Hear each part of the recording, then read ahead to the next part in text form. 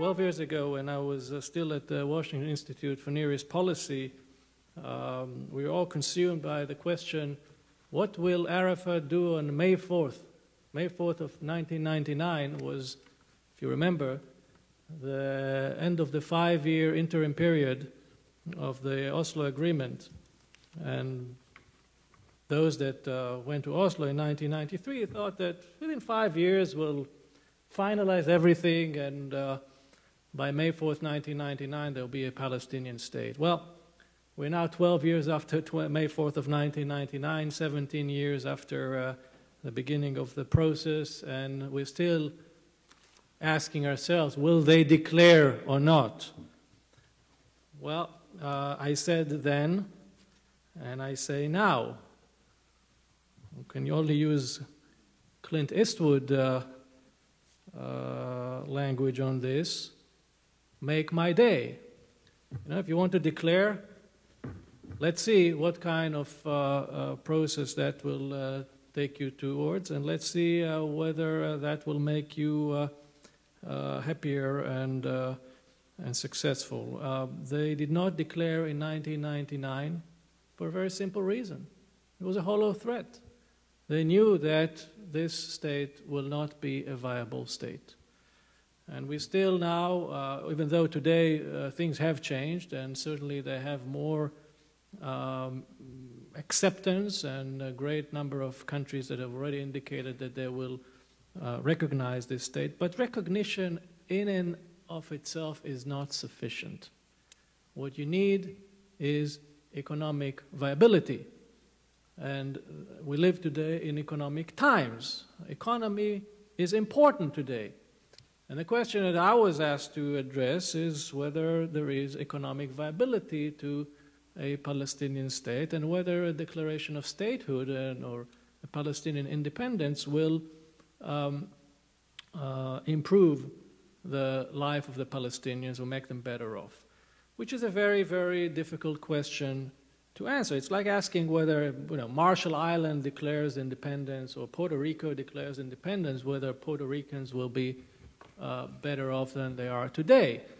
It is very difficult to answer the question because Puerto Rico and Marshall Island are extremely and utterly dependent on the United States of America.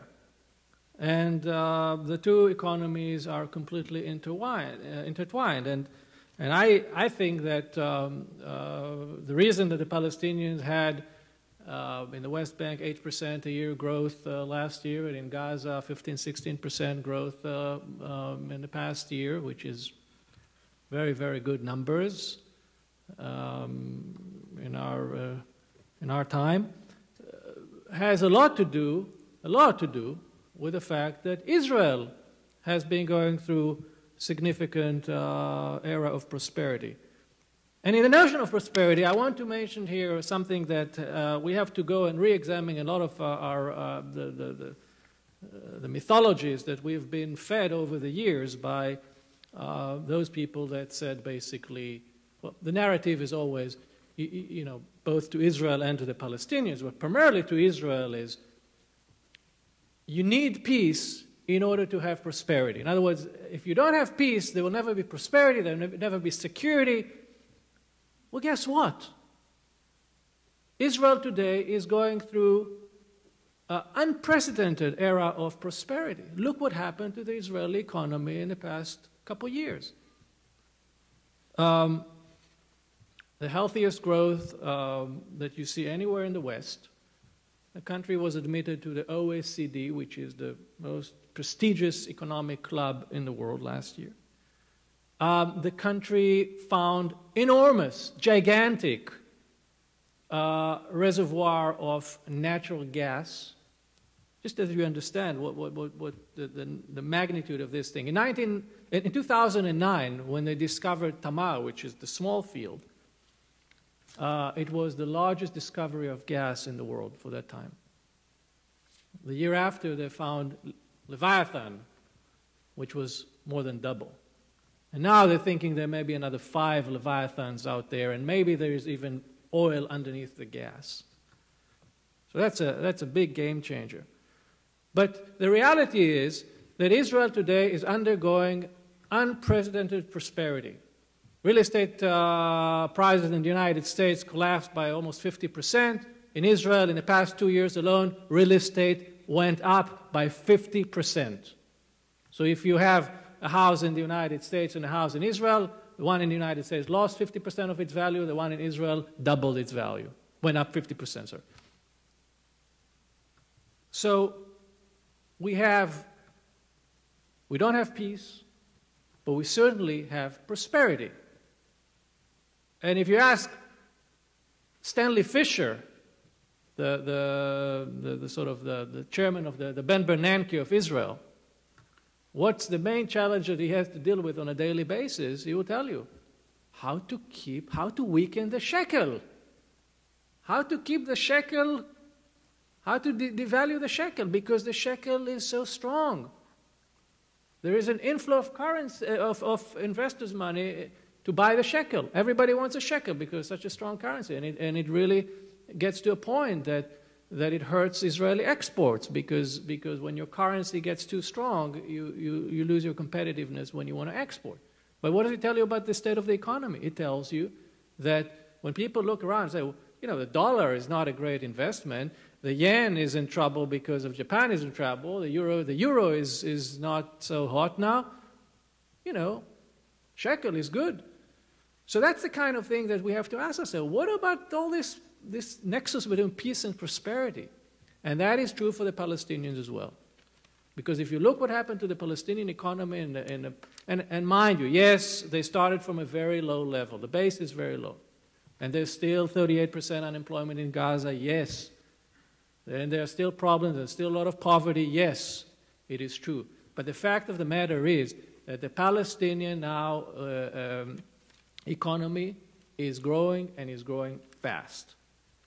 And if we want to uh, go into all kind of experimentation and put a huge road bump on the road to prosperity, you don't know if when this car hits this road bump, it will fly into the air and collapse and fall into pieces.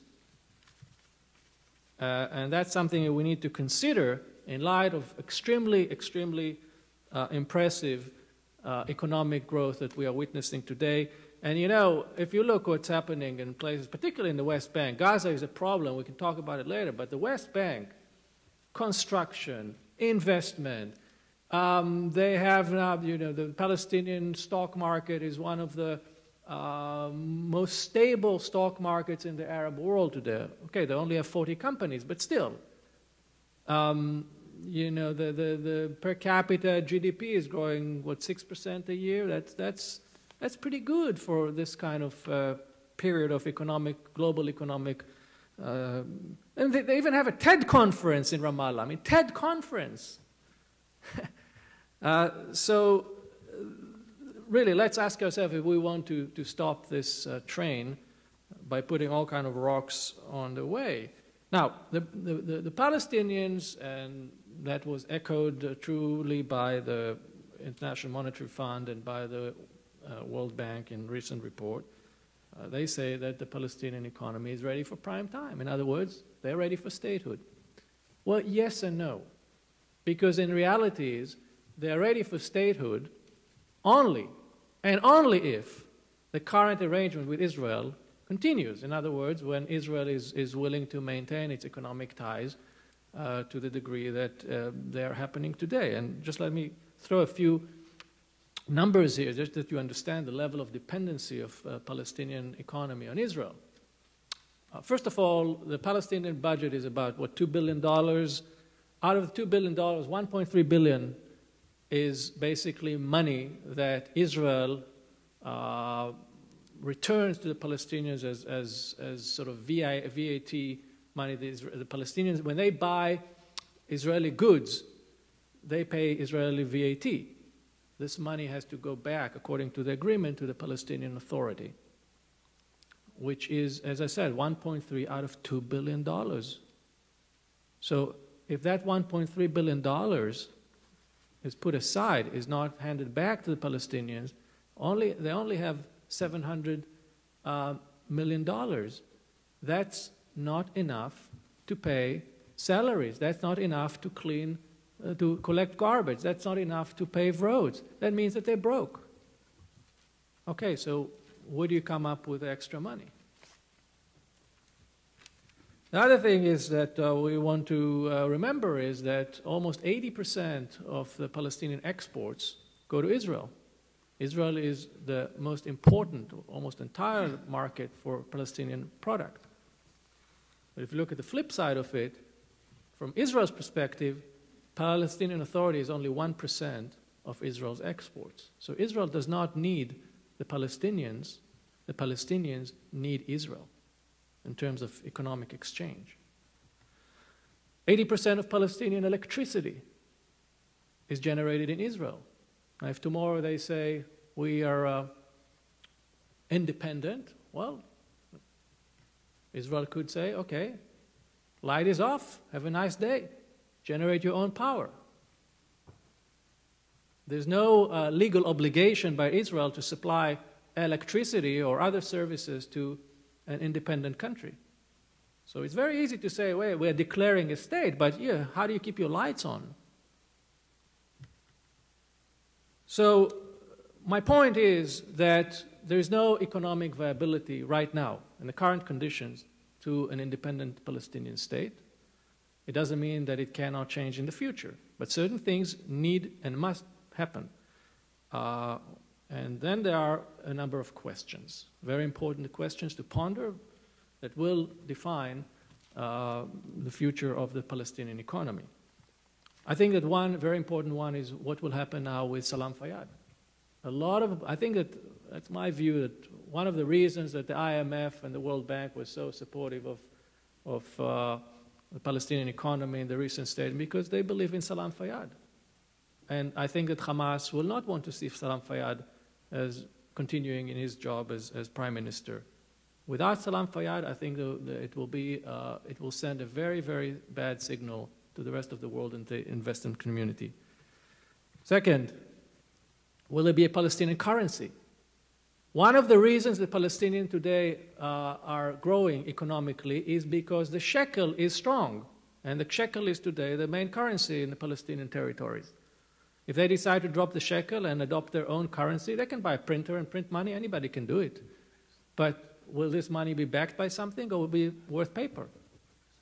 And at that point, they will be able to buy less and less with their fiat money.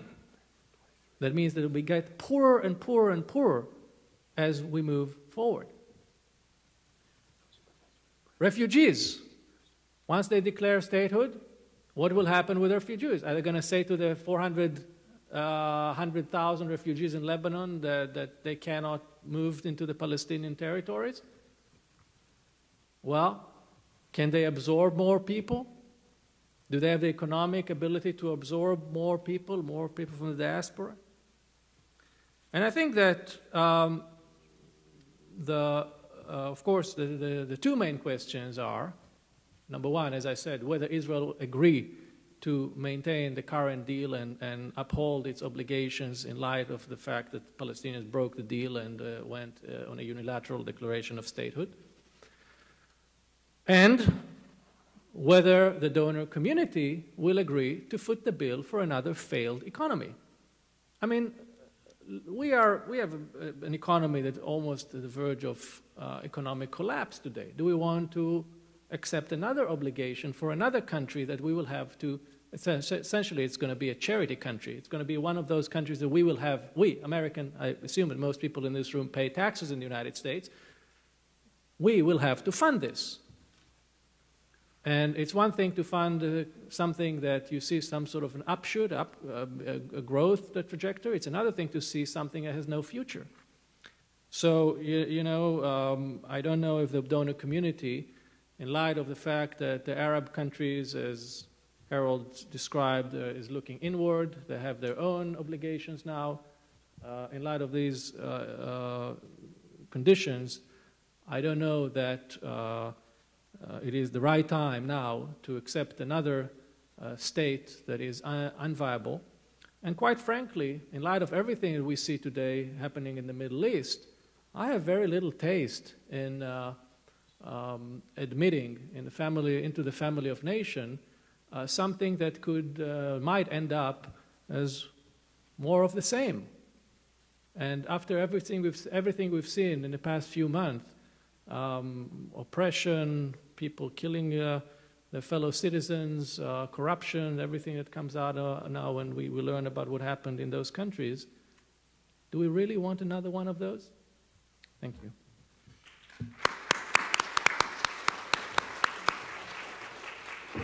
Uh, I guess as moderator, I was bad and I didn't introduce Gal. Gal is a political economist. I- If you, there are short sort of biographies in the back of your thing, your paper here. Uh, the next speaker is uh, Steve Rosen. He's a former professor of Middle East things. He worked for many years at AIPAC. He is now works for the Middle East Forum in Philadelphia, and most importantly, he's a nice guy. So, go ahead, Steve. Thank you, Harold.